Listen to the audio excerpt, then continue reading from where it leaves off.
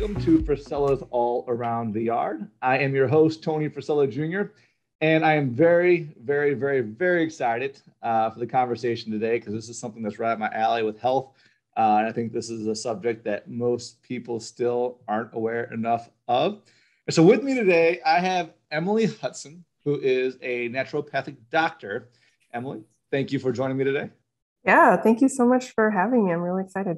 So, uh, Emily and I talked a little bit before that, just before we got on here, start recording, and we're both very excited for the conversation. So, um, I'm gonna let her, Emily. Why don't you go ahead and give a little bit of background, just you know, from uh, academics and your experience, and, and then we'll we'll give them some some uh, conversation here. Sure. Uh, okay. So about me, I am originally from St. Louis um, which is, I think, really important to know because oftentimes I get the question of, why are you back here as a mm. naturopathic doctor? Um, uh, because I get that question a lot because naturopathic doctors are not licensed here in the state of Missouri. So it's a difficult place to practice naturopathic medicine. But I'm from here and I love it here so much. And I wanted to bring this amazing medicine um, back to my home and help the people in my community. So, um, from St. Louis, I went to Mizzou for undergrad. Um, I'm a respiratory therapist by trade there. I worked at Barnes Jewish Hospital for three years in some pretty intense situations the ER, the ICU. So, I've got a pretty strong conventional medical understanding and background uh, as well that really drove me to um, want to seek out what else there was out there. So I saw the beauty and the, the, the wonder of conventional medicine and what it could do, but I also saw the limitations. And so I uh, decided to pursue my career as a naturopathic doctor. And I decided to travel to Seattle, Washington to do so because it was one of the accredited universities in North America that I thought at the time was the best one. And so that's where I went and I was there for about seven years and I got my doctorate in naturopathic medicine. And at the same time I was doing that, I decided to get my master's in counseling psychology. I didn't plan on doing that when I first went, but I saw, uh, again, I just sort of allowed organically to like, you know, what am I supposed to do with this? Uh, and, and I saw the great benefit and the great need for mental health integration more deeply and uh, fully um, in in the field of medicine and just uh, you know not being limited to um, those that were you know really severe but you know just the idea that all of us have a, component of mental health um, as a part of our of our whole health of our holistic health. So anyway that just really called to me and i integrated that. I got both of those degrees in the span of five years and then I pretty much packed up and came back here to St. Louis and opened up a practice. And I've been um, a sole, I've been a sole practitioner at my clinic for uh, a, about three years as well. So um, February of 2018 is when I opened, and, yes, and I'm still uh, here. That's yeah. So I said I, am excited to get into this conversation because um, I mean, with everything that you just covered, I mean, there's a lot that I think you know, you know, talk beforehand that you know our business and gardening and landscaping.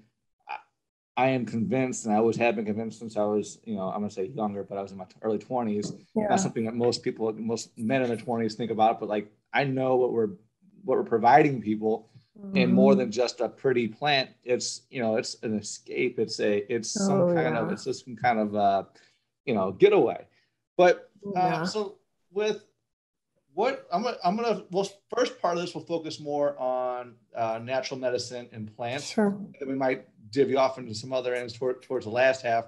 Um, so, for a plant focused standpoint, what is your experience, or do you have any experience with, you know, maybe it's specific herbs or plants that people typically grow at yeah. their homes that they might not know or have all these amazing I'll give you an example. Like I know dandelions. I haven't eaten dandelion, but I know that there's a lot of good natural properties to dandelions. Yeah. So I mean, so what what what kind of experience do you have with with that? What what what would you be able to give shed some light on? Oh my gosh, so much experience. This is what you're going to have to cut me off on. um, I mean, I could go on and on give about me, Give me, give me, give me three or four. Give me three or four. Let's start with three or four if you can. Let's see. Okay, so you know, I, I so you already know about me that I love all things um, mental health and mm-hmm. just um, how you know big picture that is for everybody's health. So I I actually think that there's a lot of plants that are easily grown that are um, extremely useful to our mental health. It just seems like those the, that realm of things uh, is just easier to grow. So we think of um, you know families of plants. So like the the the family uh, of um, Lamiaceae is mm-hmm. is filled with things like lemon balm and other mints. Um, even lavender, you know, is in that family. Mm-hmm. Um, and so those things are pretty well known and very easy to grow as things that can be not only you know utilized for their smell and their their volatile oils that you know create such a strong smell even like I'm familiar with even just walking oils, yeah. yes i mean even just walking by a lemon balm um, aka melissa officinalis plant you're like what is like are there lemons around here somewhere? Like what is going on? And then you look down at your feet and there's just some weeds growing you know in a mm-hmm. garden of lemon balm. Um, and you know you can you can pick these things. You can you can put them in you can dry them if you want. You could put them in teas. Like i'm willing to talk about all the different ways we can use you know medicinal plants if we go there um, but you know Great. other things this is this is as much information as we want to drop and this is where and, and let's, let's think about like so like uh, i'm gonna i'm gonna use one of my one of my associates terminology if uh you know aunt may is has her has her pots out on the uh yeah on the on the porch yeah and she puts herbs in them you know yeah. it, there's a lot of people are putting them just because that's what people do not yeah. really using them to the fullest extent so right. Uh, with yeah. With, there's a lot of things you can do for like cooking you know but beyond beyond that um like I, you know uh, rosemary is another really good one for cooking but also for mental health and um you know things like blue vervain are really beautiful and things that you can grow and then utilize um, chamomile is a really common one and something that's super easy just to pick those little flower buds off the top when they bloom and put in some tea um, you know, echinacea, which is just such a beautiful Missouri native flower. Um, you know, so these are the things, these are the things I think of. There's so, I mean, there's so many herbs and so many plants, but um, they're not all very easily utilized for medicine. You know, some you need the roots of, and some you need, you know, the, the baby forms of. And so you like just certain times of the year. So all of the ones that I've mentioned so far are pretty accessible and um, more mm-hmm. easily, you know, utilized. And that's why those culinary herbs, um, you know, should be, we should expand our understanding of these culinary herbs because not only do they taste good in food um, and, you know, help the, the, the taste of food, but they can also be used medicinally as well. Well, so got two questions for you. One, for something like uh, echinacea, Mm-hmm. I grew up taking echinacea when I was sick, and before, if I felt like I was getting a cold coming on, I would always take. I'd always have a little capsule of echinacea, or actually, when I was younger, my parents used to put it in orange juice and mix it up with some vitamin C. Uh, right. Uh, that was that would be my that would be. That would oh be yeah. My, but I mean, how much you had a hippie so, house? yeah. so so with um uh with like with, like, with echinacea, how much yeah. would somebody like how would people go about mm-hmm. uh, harvesting it, and how much of it would it actually take to get a meaningful amount, or right. would it be something that they more just you know kind of smatter in a salad, or would they cook with it, or would they you know right. those kind of things? And, I, am not a chef by any means, so I can make a mean salad, but that's about it. yeah. So. um you know the aerial parts of echinacea echinacea is one of those that can you know you can use the, like all of the different parts and there's so many studies on echinacea that you know you could really just dive into um, which you know which species and what type of you know what type of flower specifically and then what part of it should be used um, i've i've never personally used that one um, myself like from my own garden but you you certainly could if you wanted. And then the best way I think for that one would either be um, in a tincture form. So I'm happy to talk about like how, how to do that. Um, you know, you would that basically what it is is an extraction in alcohol. So uh, like a tea, for example, you extract the constituents of the herbs in water. You just let them sit in water, and the, the water just sort of slowly pulls out those constituents that are medicinal. Mm-hmm. But in a tincture or liquid extract, you would use alcohol and let the herbs or, or roots or whatever they are sit in that alcohol for a long period of time. And then um, it would more completely pull out those, yeah. those pieces that you're really wanting medicinally. And there's lots of great books, you know, um, you know, just how to get started with backyard herbalism you know that it's just so easy. Once once you have the materials and actually you know are are moving into that world it just it becomes so easy and you can make your own medicine. And i think that's even more powerful sometimes than you know buying it off the shelves although that's a very easy way to do it and i do that yeah. quite often.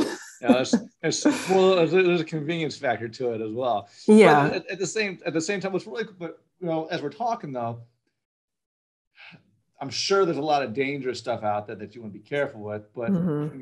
in, the, in, the, grand scheme of things, you know, coneflower, echinacea, lemon balm. I mean, like this is very yeah. So anything that I anything that I name for you in today's yeah. episode is going to be, you know, generally safe or yeah. or just safe, you know. Um, and then if there's anything not safe, I'll let you know. But really, I guess this is sort of a, a a, a, an announcement, you know, a yeah. PSA. It's like, yes, you're totally right. Natural stuff, herbs, you know, there are some really dangerous things out there, and you want to just be really careful that um, whether it's in your own backyard or taking them, you know, off the shelf, you know, you got to really know what you're doing sometimes. So, any of the ones that I mentioned today are, you know, pretty safe. So I, I, I, I like, so I have my gardens. I'm Italian, so I, it's kind of cliche. We always have our gardens, and I wish I could keep up with them more. But you know, and I and I love the fact that my kids go out and you know pull the uh, vegetables out and pick the blackberries and the raspberries right. and all that. I mean, that's oh yeah, and they love the experience of it. And they love planting the seeds. Uh, they haven't gotten to the part of weeding yet, but uh, uh, but I mean, I one thing I would love to get to, kind of next level of it all, because we talk a lot about gardening on, on, this on this show, is I would like to try uh, to find a couple herbs and, and mm. play around with them and just and just see, you know, do I notice yes. a difference and what are my goals and those yes. kind of things. So I want to try X, Y, and Z. Okay, well, what herbs are for that? Okay, maybe I try to do a couple of these perennials or herbs that are out there and and play with it. So that's definitely something that is a, is a huge interest interest to me.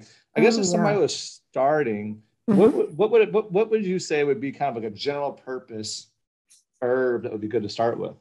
Mm.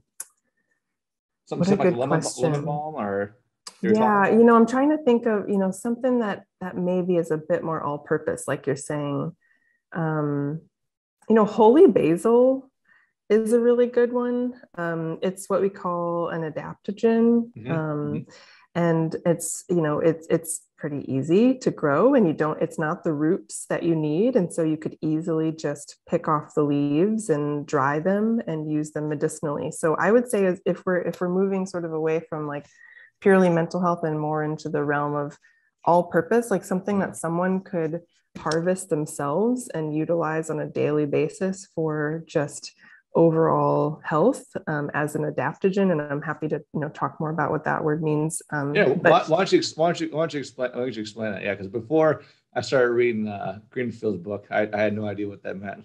So, yeah so you know it's this very herbalist term um, and so it it it, it it's the word adaptogen is there because it helps this is something that helps us adapt to stress, right? And so um, I could I could go on about this, but uh, basically our um, our body can handle stress pretty well, right? Like you know we can as humans undergo quite a lot of stress, uh, everyday stress, ups and downs, you know. But there kind of comes a point where you know one more drop in the bucket and and we sort of um, overflow, and that may look like a chronic illness to somebody. That may look like a panic attack to somebody. That may look like um, you know uh, oh that triggers a migraine for somebody. You know it could be anything.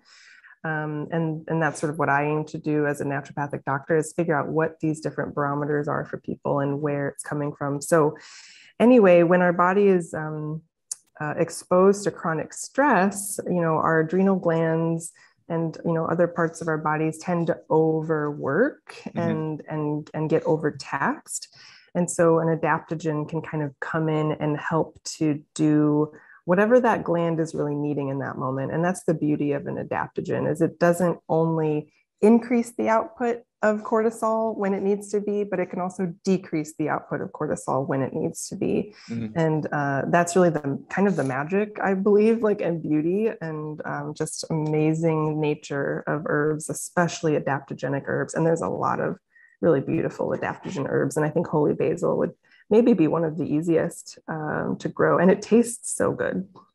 Huh. So, and, and I guess uh, have you, where would you would you put that in a salad? Would you put that like as a garnish instead of a meat? I mean, what, what would you? How would you? How would you... Uh, tea, I would tea? say, is tea uh, would be my my main use for holy basil, um, and then you could also like again tincture encapsulate it but it's a really delicious herb and so we want to really take advantage of the taste of herbs um, when we're making a tea because you don't really want to make a tea of like gross stuff, you know. Yeah, and yeah. there's a lot of herbs that just honestly taste really gross, but they've got amazing let, medicinal properties. So I would say me, a tea.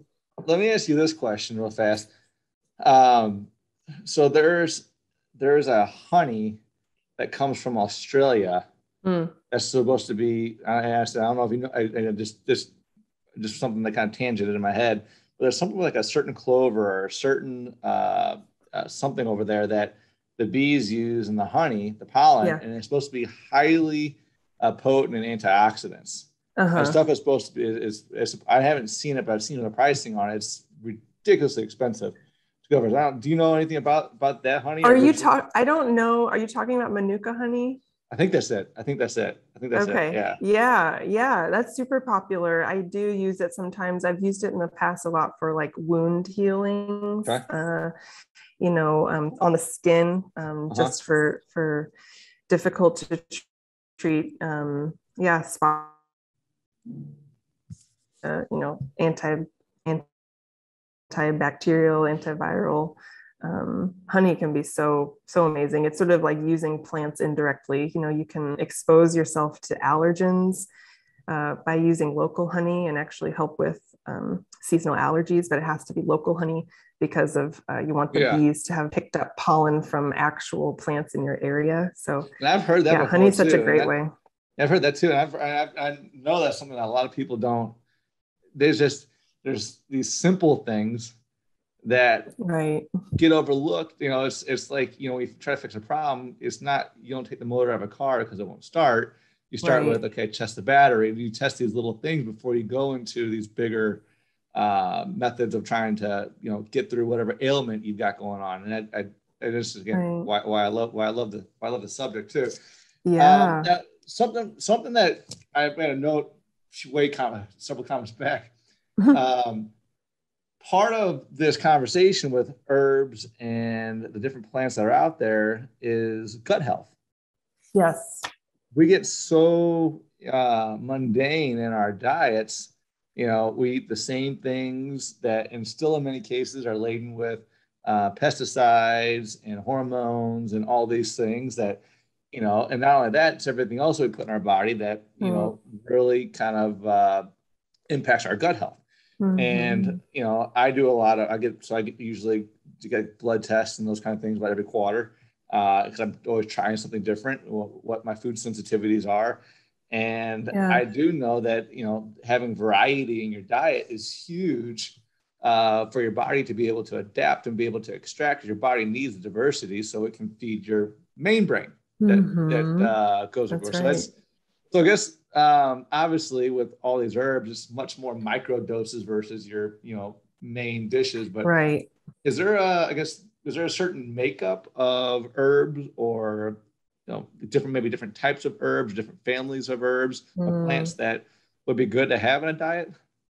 Yeah. Oh, yeah. The first thing that comes to my mind as you were talking is um, bitter herbs. So that's sort of a, a a whole category of herbal medicine that is um, as old as it gets, right? I was just hearing the other day that, like, as soon as we developed alcohol as a, as a human society, bitter herbs were utilized for digestion. So we think of these things as like aperitifs or, you know, just uh-huh. little drinks that um, probably are more popular in Europe, you know, than yeah, here. France. Yeah yeah, yeah yeah, yeah, yeah. So, so the whole idea is a digestif, you know, a, di- a digestive uh-huh. aid yep. and, yep. and what bitter, fl- it's, it's really just the bitter flavor profile that is the useful thing here. And plants as i was mentioning before tend to not taste very good. And you know bitter is sometimes the the the way that it moves towards. And so um, we as a as a society especially in the us have tended away from bitter flavors. And so we when we taste things that are bitter we tend to just really snub our noses at it. But you know cucumbers and um, you know arugula and like all these vegetables that are supposed to be very bitter have sort of been bred to be just a little bit more watered down than mm-hmm. they originally were. And so we're just simply not getting that flavor profile and a way that we can reintroduce that as a medicinal property as that bitter flavor is through herbs herbs are a wonderful way to do that and chamomile by the way is you know in within that category of, of bitter as well. Um, gentian is also within that category. So, so these things are um, medicinal towards the digestive tract in that way. And I'll tell you just briefly, you know, well, why? Why do we want a bitter flavor profile? It's because it activates our digestive system in many ways to process and digest food more completely, more fully. And it's only when we can process and digest food really, really well that we can absorb all of the nutrients that it that you know we're taking in in the in the form of food. So you know bitters increase the acid production in our stomach. It produces more um, you know pancreatic enzymes and uh, and bile from the liver. It uh, creates more of a peristaltic like movement of our digestive tract. So, you know, it's really, really powerful. I prescribe them all the time to people with um, with digestive issues. So now you got digestion, and then you've got some of the you know big issue that most people don't realize is out there because this gets a little more micro into it is leaky gut. Mm-hmm. Leaky gut is a huge thing.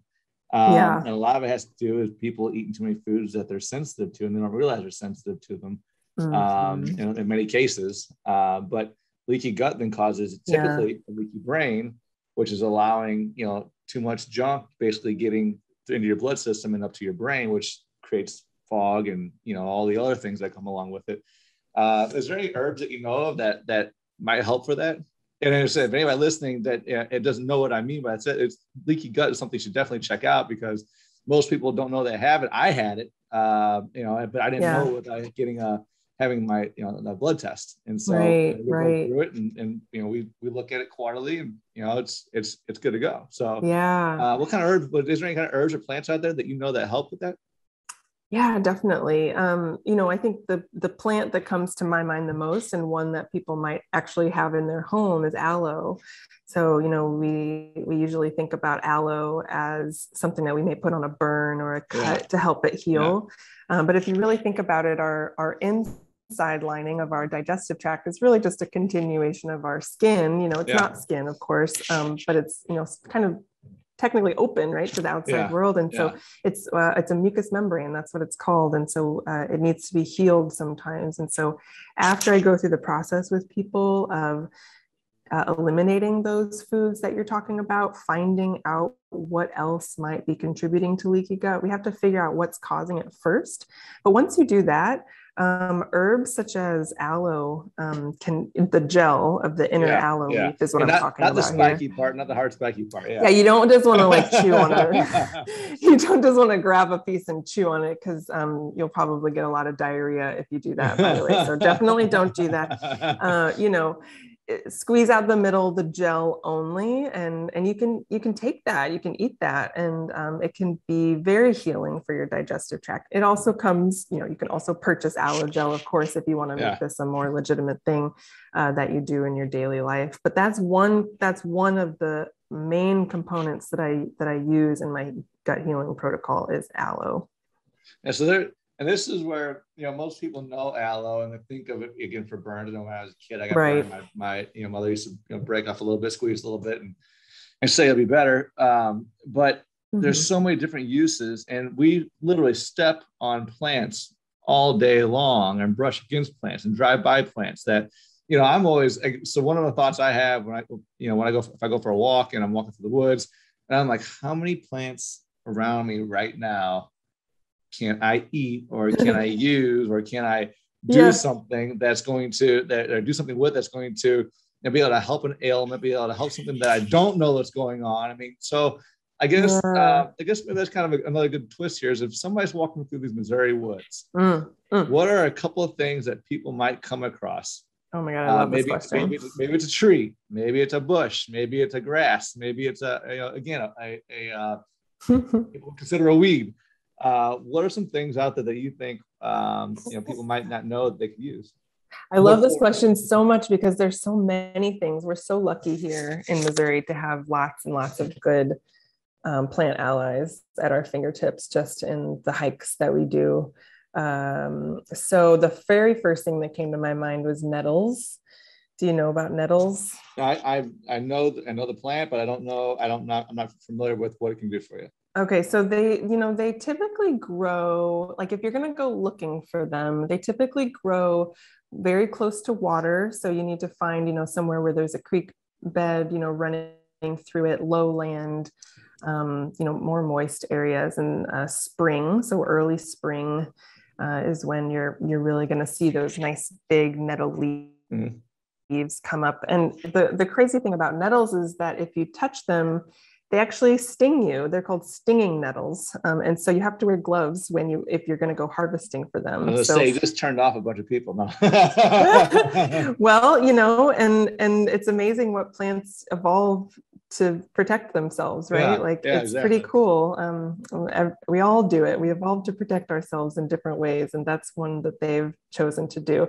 You actually, it's not like super painful. Like if you it's deactivated really quickly. So you know, the real uh, heroes among us, they might just grab it and smush it up with their hands and then it doesn't sting at all because they're like deactivating it while they do it.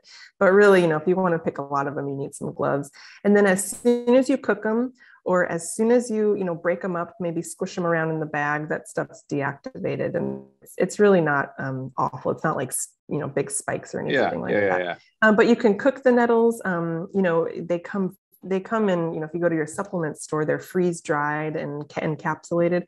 And I'll tell you, they're very, very helpful for allergies, so seasonal allergies. Um, uh, and then there's there's great recipes online. Nettle pesto is is what I've done with them before, and how I. Now you're talking my language. There yeah. we go. yeah. So you, you, just, you, know, you put a bunch of olive oil and some um, you could even add some extra basil in there if you wanted to get that basil component too your pine nuts and your Parmesan cheese, and it's just delicious. Uh, you, you hit all my all my main food groups. That's, that's excellent. There you go. Oh, yeah. What, what okay. About, oh yeah. trees. Go, any, they, yeah. yes. Let's talk about trees. Yeah. So let's see trees. Um, well, there's there's some really great um, I mean, elderberry is not really a tree, but we can talk about elderberry just because it's so, I think, probably on a lot of people's minds, like when they think of uh, walking around picking out their, you know, medicine, especially with the, you know, viruses and whatnot mm-hmm. going around. Um, elderberry is a really versatile plant because you can use the berries for syrup and for um, increasing the immune system's ability to fight off colds and flus. And then uh, you can also use the elder flower for, um, you know, fever. So when you're actually sick and not feeling so good, you, know, you can use that in a tea to help with fever. So those are plants that are rich in abundance for medicinal properties for sure. Huh. So, I mean, I know uh, obviously persimmon is a more of a you know more of a fruiting tree out here. And I remember I tried eating one when it was a little too uh, green still. Yeah, it's got like real like cotton mouth. Oh, it's awful. I've I've done that before too with one that wasn't even too like early. It was just it just was terrible. Persimmon's one of my favorite fruits. when it's good, but when it's bad, it is so bad. Yeah, yeah. Because I remember my, my grandpa. Oh, my grandpa used to eat this. I don't know. Oh, why did I just put my mouth? oh yeah, no, it's awful. You can't even get rid of it.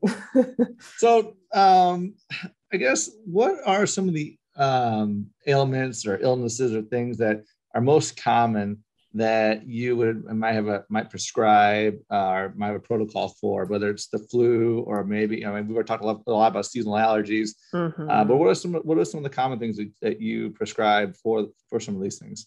So so as far as what I see in my practice, uh, like you know what type of things people walk in with that want help with lots of digestive issues and um, you know we've talked about bitters already but you know if i'll give you an example. If someone has i'll give you a more ex- sort of extreme example. Um, i don't know if this is what you what you're wanting but uh, yeah, it's just it's just kind of useful to know what herbs can do. This isn't necessarily what you can do out of your own backyard but yeah. um, you know if someone has you know food poisoning or some some really bad you know issues, symptoms yeah, of food poisoning. Yeah, um, yeah. We all know what I'm talking about.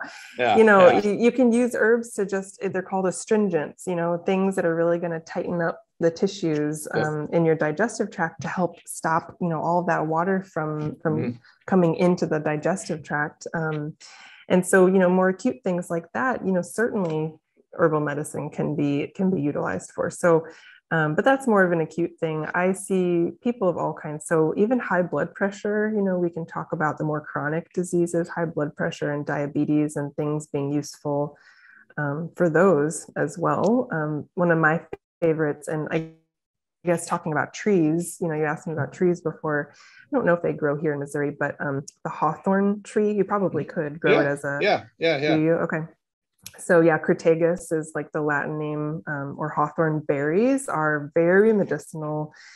They they help lower blood pressure. Um, you know, if we're talking about from more of like an energetic, spiritual standpoint, they're really heart focused. So someone who has just a heavy heart, a broken heart, um, you know, maybe cardiovascular issues that are more um, emotionally centered and heart centered. You know, that's who I, that's who I think about Crataegus and Hawthorn berries for. That, uh, that's interesting. So, uh, autoimmune disease is you know the catch-all for when yeah. nobody knows what's going on.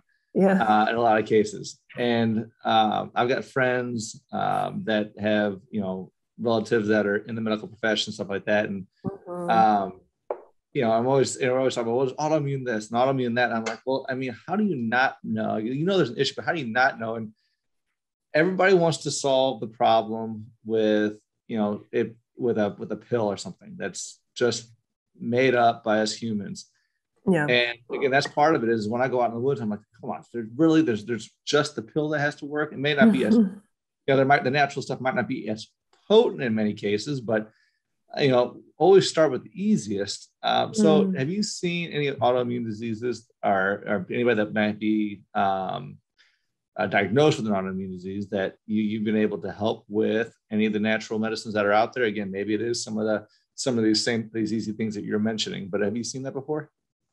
Yeah, I see a lot of people with autoimmunity for sure. Um, you know, I think you really hit the nail on the head with just why don't we know like more about this? You know there has to be some some you know easier answer. And i think that there probably is but we just we just don't know exactly what it is right now and you know what creates autoimmunity and uh, how do we help it? So when i see someone with an autoimmune condition which is a lot you, you can't just label it as autoimmune and then give them a thing for it because that's mm. what the conventional model does. Oh you have lupus or oh you have you know this issue. Well let's try a round of steroids or let's try this thing that just totally dampens your immune system down uh, to nothing right? And that may be useful for some people in certain situations but um, what i like to do is really try to figure out why someone may have developed that in the first place and it's not always possible to do. We can't always figure it out but um, you know sometimes it's like a, a, a, an illness that happens that triggers it. So like a viral illness often is um, underlying what triggers someone's autoimmune reaction to to occur. Um, and so we might go after that, or you know, we may go back to that leaky gut idea and just try to figure out in general how to keep someone's immune system um, at bay. And so there's there's different um, different ways to do that. So yeah, I see a lot of that in my practice. I guess so. One of my one of my last questions, and, and unless there's anything I'm missing, that's another thing that I always think about. I kind of I kind of smirk is hmm.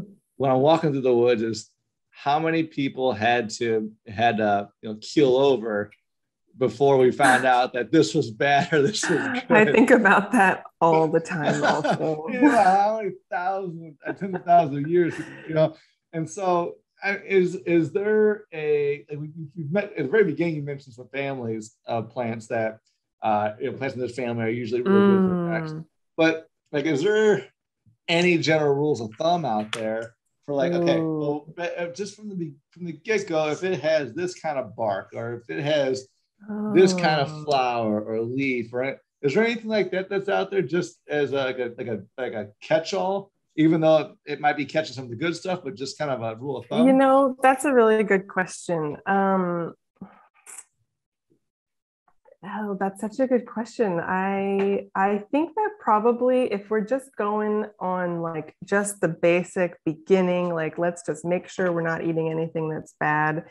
You know, you if you don't know what a berry is, don't eat it because it's probably it's probably not good. so anything with like those bright colors uh-huh. um, you know you you would want to maybe stay away from until you know what it is. So you know mushrooms that are super bright colored or um, plants that have really bright color you know red berries or purple berries you know those things you know we have to think about again the evolution of plants and why they look the way they do right? Uh-huh. they're saying hey come eat me because i'm going to kill you and then you won't eat me anymore. Like you know, uh, so they're just trying to sort of protect themselves. That's one of the reasons the plant might be colorful. Of course, there's other reasons like attracting oh, yeah. birds and bees, but you know, um, as far as far as that goes, like fruiting things, you just generally want to stay away from because they may not be so good for you. Yeah, it's a, it's very interesting because most people don't understand that plants evolve. Oh, it's just it's an it's an oak tree. It's uh you know right. it's it's this it's that. Like well, you know how many versions of that is? Oh, I thought uh, elderberry was an elderberry. I said, no, there's a lot of varieties. There's a lot of changes, right. whether it's human intervention or it's just naturally ha- occurring. I, I, I guess that's a good question. Is what um, plants that are being cultivated now for you know their low compact tight form or uh, robust flowering or mm-hmm. or fruiting like the elderberry, for example, there's a lot of new cultivars of that out that whether they're genetically modified or they've been uh, mm-hmm. uh, bred that way. Is yeah. there any disadvantages or advantages to either of those, or is it is an elderberry Ooh. elderberry? It doesn't matter. No, elderberry is not an elderberry. It doesn't matter, and so there's very specific um, species of each of of plants uh, that you really you know can kind of count on to give you the medicinal property that you want so um, i'll give you just i guess an, a, a, brief example of what i'm talking about so like a viburnum you know mm-hmm. mm-hmm. uh, is a beautiful plant that i think a lot of people use for yep Yep, for we use, gardens. We use the semi-evergreens a lot. Yep, yep. So, so I'm not so much in the garden world, but more in the you know medicinal plant yep. world. So I was shopping for you know I got a new house earlier this year, and I was shopping for my garden, and I saw viburnum, and I was like freaking out. So I was like, oh my gosh, a viburnum! You know this is great. And uh, what I was really wanting was a viburnum opulus because that's what cramp bark is. That's what I use for people who have severe menstrual cramps or who have you know really really severe cramping of, of all, all kinds of sorts, but you can't use just any viburnum for that. It has to be this, this specific one that's called cramp bark. And so, um, yes, to answer your question, it does matter. And I guess, you know, I shouldn't act like I know everything. It's not to say that maybe there's not an, a, a species um, that would also be useful, maybe one that I found at a garden store or something but it just hasn't been researched. We don't have yeah. the knowledge about it. We don't have the understanding to know that that one is as useful. Um, and then I'll give you another example. So um, let's see, there's, so like with echinacea, for example, there's echinacea purpurea, there's echinacea angustifolia, you know, and then others. And each one kind of, you can look at the different profiles um, yeah. for each one. And then there's a lot of examples of that. So there's some herbs that there's a couple different ones and one might be used for one thing and one might be used for the other or even different parts of verbs so like i already said that before. So the flowers yeah, might be yeah yeah. So yeah. it's pretty specific. You really have to kind of know exactly what you're doing.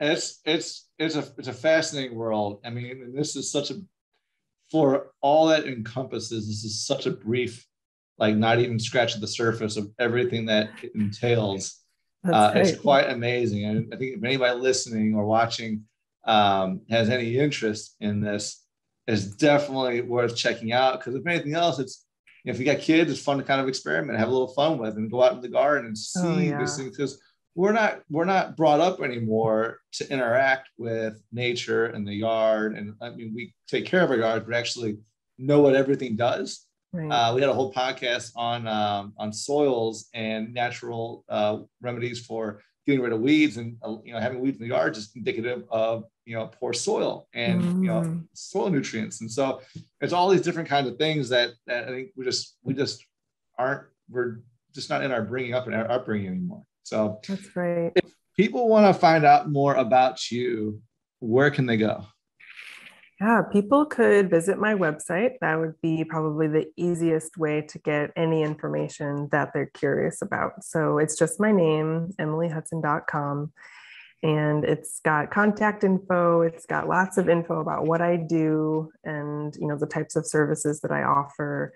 And um, yeah, just kind of scheduling. If you want to book an appointment, you can I don't think you can book a new appointment through the website, but um, if you want to book a new appointment, you can just call the office and we will get you set up. And always happy to chat with people um, just for you know brief phone calls beforehand if they just kind of need to see if if this is a good fit for them. Yeah, absolutely. Well, I mean, people are just used to normal, you know, medical field. I mean, this is right. a little bit different, but it's it's an option that I think a lot of people just don't know that's there.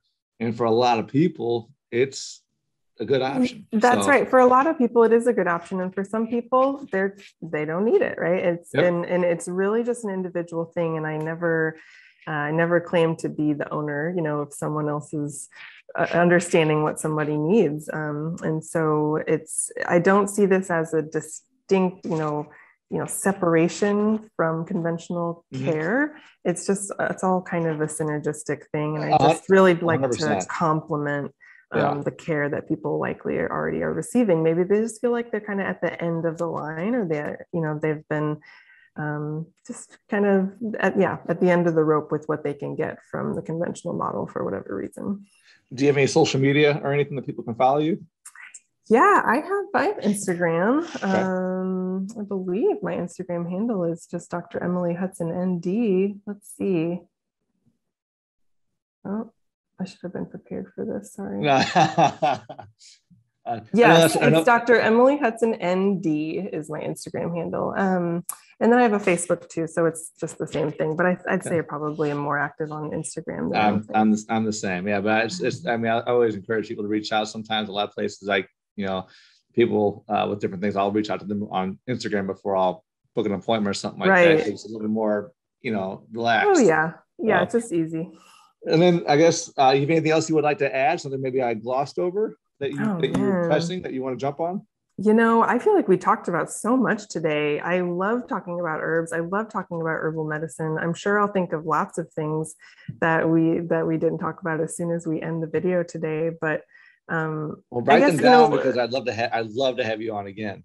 Yeah, you know, I think the only thing that I was thinking um, I wanted to mention today, because uh, of one of your really good prompts that you sent over to me, was just like, how can people use plants? You know, and I just mm-hmm. was really reflecting on that a lot. And it doesn't have to even be internally, you know, digesting them or taking them. Um, you know, there's been study after study talking about just the beneficial uh, act of cultivating and being around um, plants around nature. And so I think with the pandemic and everything going on, people have really gone back to their roots, pun intended, to yeah. like be surrounded by nature and as you know in the best way that they can because they're just simply not getting outside so all these house plants that we're cultivating i really think are helping our mental health because we're growing these things, you know, we're making these things um, and nurturing them. And that is absolutely doing a wonder for our health and our, our mental health as well. It's so been a huge, huge boom in our in our just our retail business. All the yeah. house plants and the warehouse plants and Forbes last year had an article about you know the you mm-hmm. know plants and the value of them. It's just like I was like, oh my gosh. And then just this NASA study I'm seeing everywhere that wasn't even done anytime recently. It was yeah. like long time ago, but it's just this huge resurgence of this NASA study that was done talking about the top whatever 10, 20 something plants yep. that clean our air, you know, the, the, I don't even remember the ivies, you know, the thing, Dieffenbachias, the ivies, you know, just the, the coleuses, like all these things. So, you know, just having them around are going to help purify our air as well. Sansevieria. Yep. Uh, mm-hmm. Uh, have, have you just real fast, have you, have you uh, seen the study by Texas A&M. Um, Charlie Hall was one of the was part of this. It was um, mm. the health and benefits or the benefits of plants. It goes into the the health, the economic, and the environmental well-being of plants. And it goes through, you know, the decrease in people mm. returning to prison, the decrease in the time in hospitals, uh, the calming effect it has for people driving, like people have less road rage. I mean, it's all this crazy stuff. Uh, and these are like, there's like several studies to back up I each love point. That. So if you're if you're if you should you should be able to Google Texas A&M. Okay. Uh, uh, the benefits of plants, and I, I think you get a kick out of it. I love that they're studying that. That makes me so happy. And this is a few years ago. This isn't recent. This is a few years ago also. So it's it's awesome to see. That's well, great. Emily, thank you so much for making the time. I do look forward to doing another one of these with you. So definitely anything that comes up after this, definitely write it down. Okay. Uh, I'm all, all, about getting. And for anybody listening uh, and watching, uh, please like, subscribe, share. Uh, we appreciate your ears. This is a show that we really means something to us because we want you to be successful in your yards. To think of your landscaping, your gardening, uh, all this stuff in different ways uh, and how it can be meaningful to you in different ways besides just having a pretty house and a pretty yard. So uh, feel free to reach out to us on social media at Frisella Nursery. I am at Tony Frisella, Tony.Frisella on Instagram. And uh, until then, look forward to uh, having ears next week. Thank you.